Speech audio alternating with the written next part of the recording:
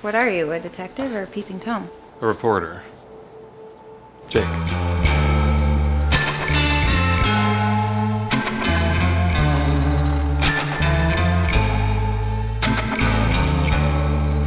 Sometimes staying out here just gets into your head.